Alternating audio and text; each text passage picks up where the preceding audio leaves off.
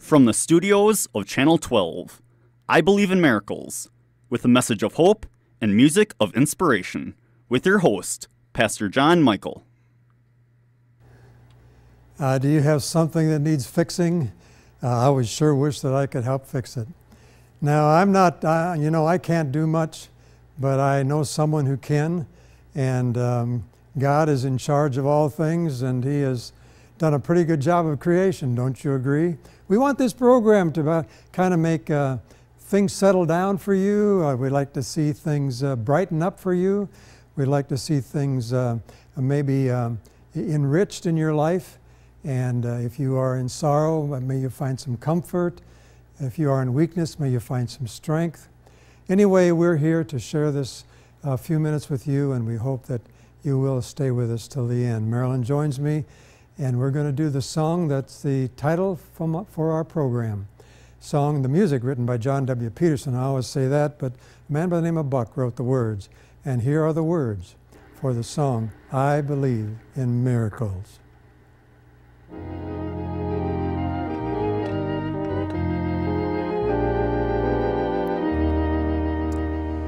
Creation shows the power of God. There's glory all around. And those who see must stand in awe, for miracles abound. I believe in miracles. I've seen a soul set free, miraculous the change in one, redeemed through Calvary. I've seen the lily push its way up through the stubborn sod. I believe in miracles, for I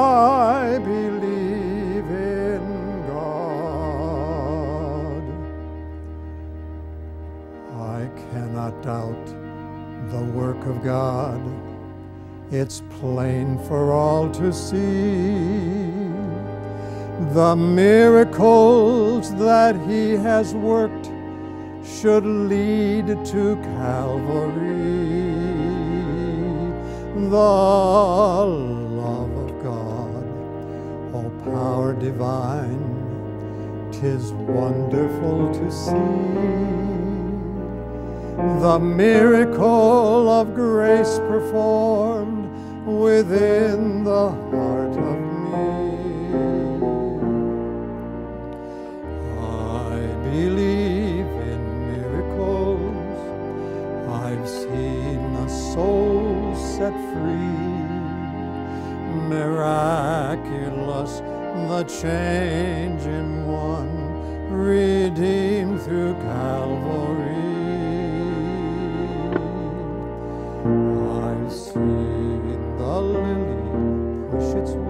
Up through the stubborn sod. I believe in miracles, for I believe in God.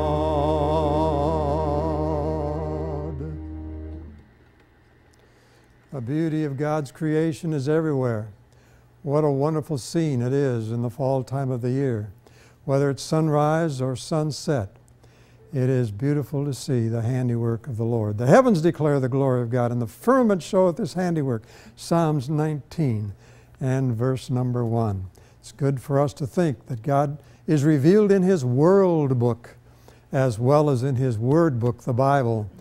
And uh, he is revealed to us in his Son, Jesus Christ, and we want to declare that good and, and um, helpful message to you today. Well, our program is called I Believe in Miracles because there are many wonders, things we cannot understand, things we can't figure out, things that are a mystery, things that cause us to stand in awe.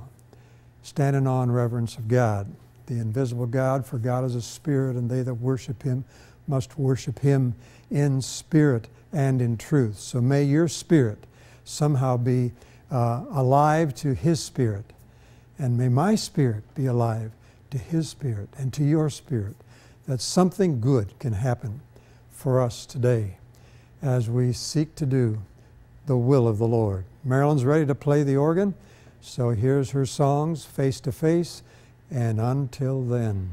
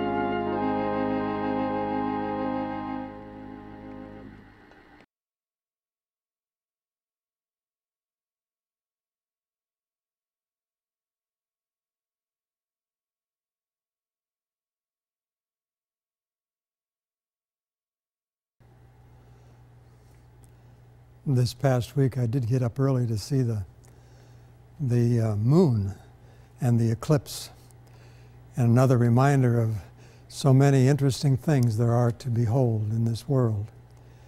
But there are wonderful things. Open my eyes that I may behold wondrous things out of thy law. That is in the scriptures. There are many wonderful things. Now, I have a quotation here, a brief quotation. I wonder where, if you know where it comes from.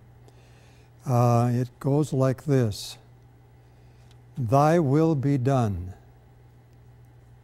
Thy will be done. Can you identify, first of all, um, where in the Bible it's found? And secondly, what is the context for that phrase? Thy will be done. Well, if you said it is in the Sermon on the Mount, you're right. And if you said it's in Matthew chapter 6, you're right. And if you said it's in the Lord's Prayer, you're right. Commonly called the Lord's Prayer or the model prayer or the sample prayer that Jesus gave to his disciples when he said, Our Father who is in heaven, hallowed be your name.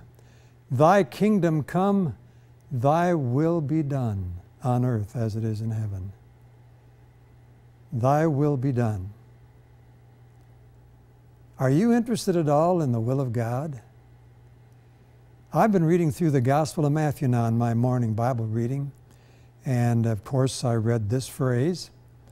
I didn't particularly um, dwell on it when I read it, and later in the same uh, in the same book in chapter number seven, same sermon, the Sermon on the Mount, I read this paragraph Not everyone that says to me, Lord, Lord, will enter the kingdom of heaven. I'm interested in getting people into the kingdom of heaven. I'm interested in being there myself. I'm interested in my family being there. I'm interested in my, my uh, church friends being there. I'm interested in everyone to get to enter, to get into the kingdom of heaven. It says, uh, But he that doeth the will of my Father which is in heaven. Now, not, every, not everybody will, but those that do the will of the Father. So many of you will say in that day, Lord, Lord, have we not prophesied in your name, or have we not uh, cast out devils in thy name, and in thy name done many wonderful works? Verse 23 Then will I profess unto them that I knew you, that I never knew you. Depart from me, you that work iniquity. So here is which is more important? I ask my question to do wonderful works or the will of God? Well, according to this paragraph, uttered by the words of Jesus, it is the will of God. Now, the, the verse that really impressed me was uh, found in chapter number 12. So I'm going to turn there. And in this paragraph, it's a story about Jesus meeting with people and talking to them. And there was a group of disciples. It was inside of a building, and someone interrupted him and said, Hey, there are people outside that want to see you. Your mother's here, and your brothers are here. He said, They would like to talk to you. And uh, then this is what he said He answered and said unto them, Who is my mother, and who are my brothers? And he stretched forth his hand toward his disciples and said, Behold, my mother and my brothers. For whosoever will do the will of my Father which is in heaven, get that, whoever will do the will of my Father which is in heaven, the same is my brother and sister and mother. So this sort of takes this business of the will of God and places it, places it in the the best of contexts, which is the family context, the bond between mother and son, between mother and daughter, between uh, siblings, and the fellowship that is ideal within that unit called the family. So we see the will of God is important in the prayer that Jesus gave to his disciples. The will of God is better and more important than doing wonderful works the will of God is, is, uh, is, is like the best of relationships. And as a disciple, as a follower of Jesus, we can participate in this experience called the will of God. What is the will of God? So that's what I want you to ponder with me today. What is the will of God? And have you any assurance you're in the will of God? And how do you get in the will of God? I want to give to you some principles that are found in the Bible. First of all, it was David Livingstone. He was a, uh, a traveler, a humanitarian, he was a, a, a missionary, and uh, he was a geographer traveling throughout Africa. And uh, he, he wrote these words. He said, I'd had rather be in the heart of Africa in the will of God than on the throne of England out of the will of God. Now, it is said that these were his last words that he penned, and also that uh, his heart was taken. Uh, the people he loved knew that his heart was in Africa. They took the heart out of his body and they buried it in Africa. And then they prepared his body as well as they could back in the way back in the 19th century and sent it back to England by land and by boat. And finally, it was laid to rest in um, Westminster Abbey. I've been there. And I walked down the nave, the aisle in the nave. And I remember stopping and seeing David Livingstone and the paragraph that's written there about him. This great man was there, but he said he would rather be in the will of God in the heart of Africa and to be on the throne of England out of the will of God. So there's two possibilities being in the will of God or out of the will of God. In the will of God or out of the will of God. Which are you? In the will of God or out of the will of God? So that leads me to this first principle, 2 Peter chapter 3 and verse 9, where it says, God is not willing that any should perish, but that all should come to repentance. God is not willing that any should perish. It is God's will that men should be saved. Saved or lost, heaven or hell. Uh, at peace with God or at enmity with God, on the right road or on the wrong road. Jesus said, The broad way, there are many that walk it, but the narrow way is the better way, is the right way. And it's the way that leads to life everlasting. That's a part of that Sermon on the Mount again. So I'm telling you, God is not willing. Are you, to put it in, in this terminology, are you in the family of God? Have you been born again or born anew, spiritually born into the family of God? I was physically born into the Michael family, but spiritually I was born into the family of God through uh, repentance and faith. Has that happened for you? I want you to pause, stop and pause and think about that.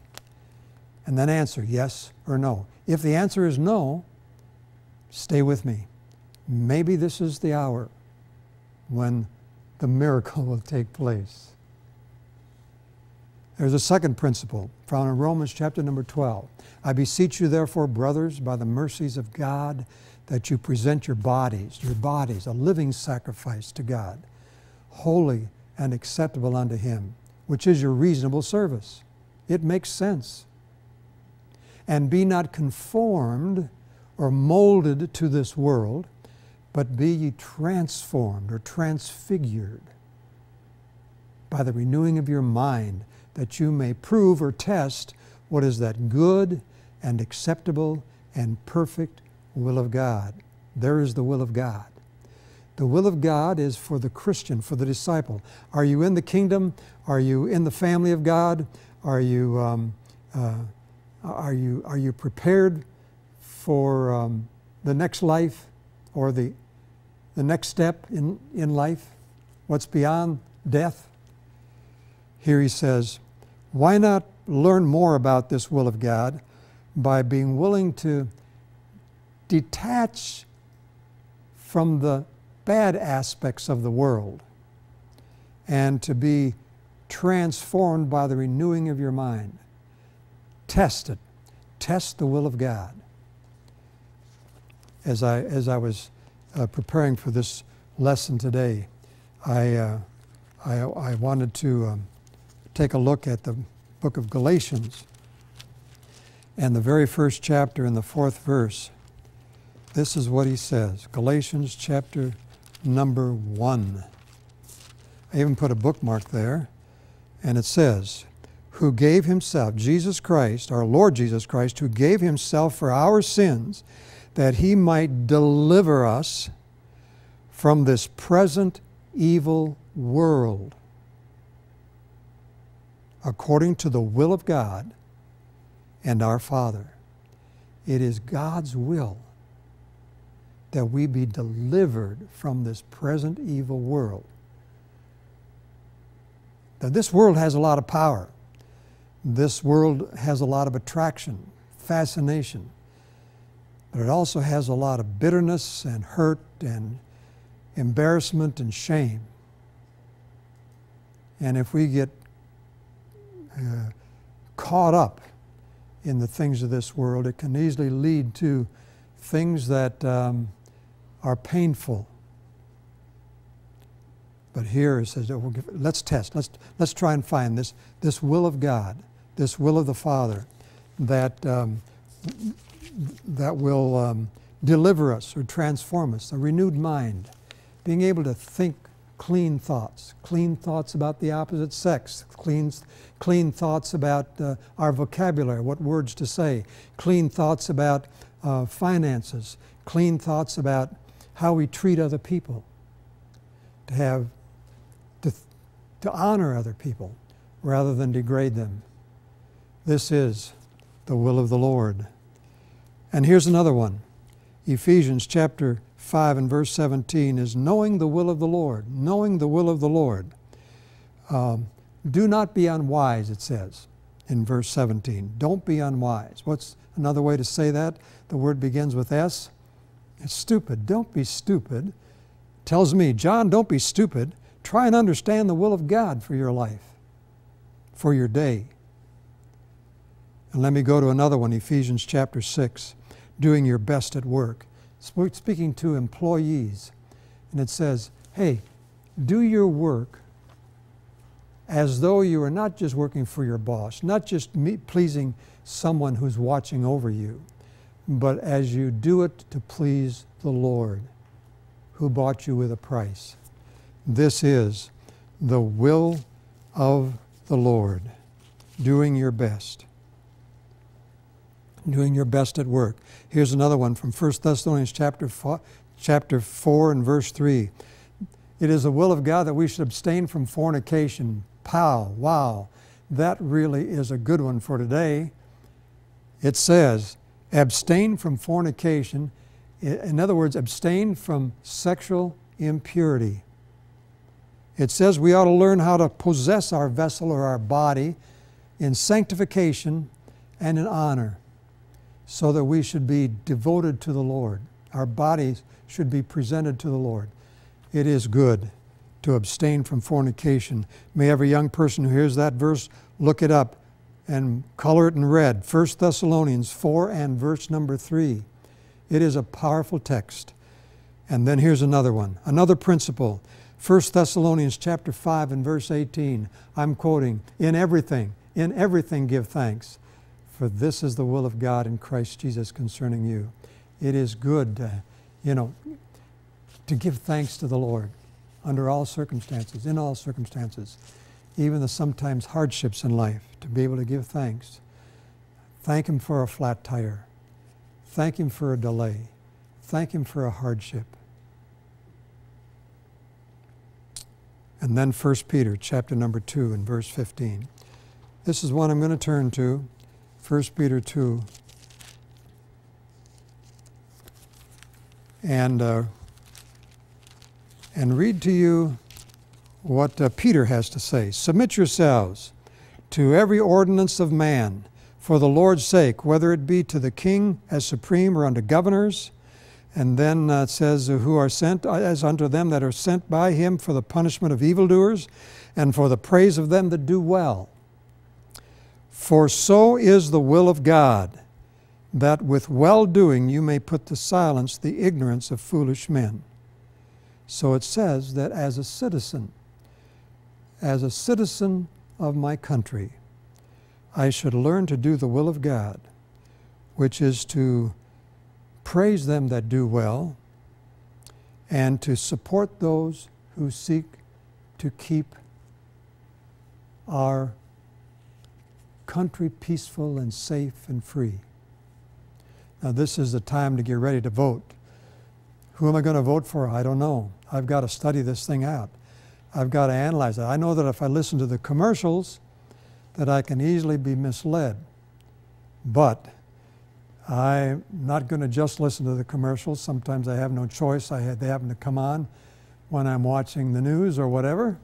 But at the same time, I got to read between the lines, and so should you, because to be a good citizen is to read between the lines and to find out for yourself what do people stand for and are they telling the truth. And um, this is uh, this is a, this is a part of the will of God for my life and for yours as a disciple of Jesus Christ. Now I'm making an assumption at this moment that you are a disciple, but I have one more to go. Chapter 3 of 1 Peter in verse number 17. It is about suffering. For it is better, if the will of God be so, It is better, if the will of God be so, that you suffer for well doing than for evil doing. So, if it, it, the, the context of here is people are misrepresenting you, they're saying things that aren't really true, that aren't accurate, and it says if they're doing that, why, hey, it is, it is better if the will of God be so to suffer, to suffer this. And it's, it's better to suffer for doing what's right, for doing what's good, for doing what's honorable, for doing what's virtuous. Because that kind of suffering brings glory to God. My friend, the will of God. Thy will be done on earth as it is in heaven. And maybe you would add a couple of words. When you say the prayer next time, you can say this Thy kingdom come, thy will be done for me in this world, as well as in heaven. It's time for you to pray, and you could pray the sinner's prayer if you haven't done that. Dear Lord, I know that you will hear and, and enter anyone's heart who prays the sinner's prayer God be merciful to me, a sinner. And may there be someone who comes into the kingdom of God today. And I pray for your blessing upon those who are disciples who seek to know the will of the Lord in their lives. In Jesus' name, amen.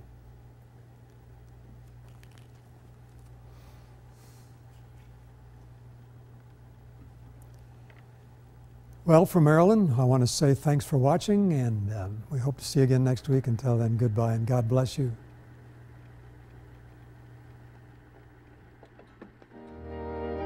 You've been watching program number 2307. If you have any comments or inquiries regarding this telecast, please address them to Miracles, P.O. Box 128, Mankato, Minnesota 56002, and refer to program number 2307.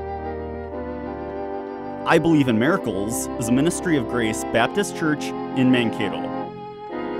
Recent Miracles programs are available online at youtube.com slash gbcmankato.